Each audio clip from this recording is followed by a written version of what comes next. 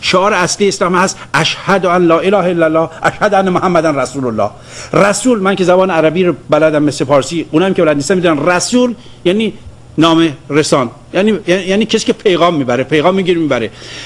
ایرانی میاد در برابر این اشهد ان محمد رسول الله یه شعار بزرگتر میاره. چون می‌خواد با اون مبارزه کنه می‌خواد با اسلام مبارزه کنه. شعار چیه؟ اشهد ان علی ولی الله. ولی رهبر سیاسی است.